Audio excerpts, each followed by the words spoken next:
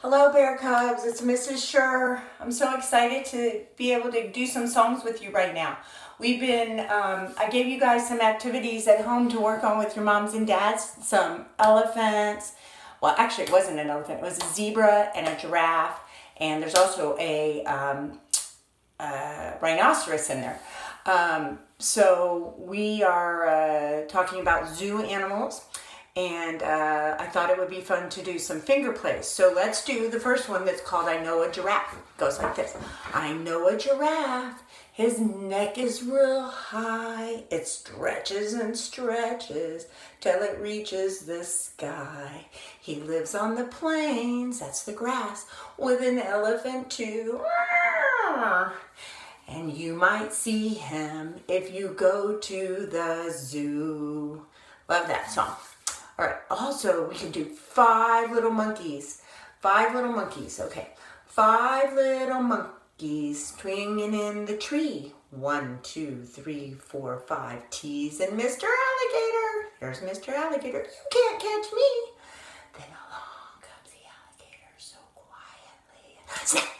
Oh, he got one of those monkeys. There's four. Four little monkeys swinging in the tree. Teasing Mr. Alligator. You can't catch me. Then along comes the alligator so quietly and snap. Oh, we got another one. Three little monkeys swinging in the tree. Teasing Mr. Alligator. You can't catch me. Then along comes the alligator so quietly. Snap. Oh, he's fast, that alligator. Two little monkeys swinging in the tree, teasing Mr. Alligator, you can't catch me. Then along comes the alligator so quietly. Oh, you got that one.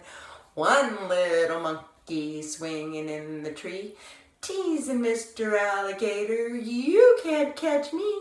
Then along comes the alligator so quietly.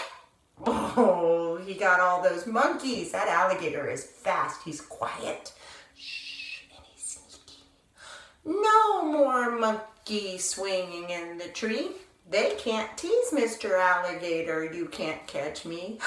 But along comes the alligator so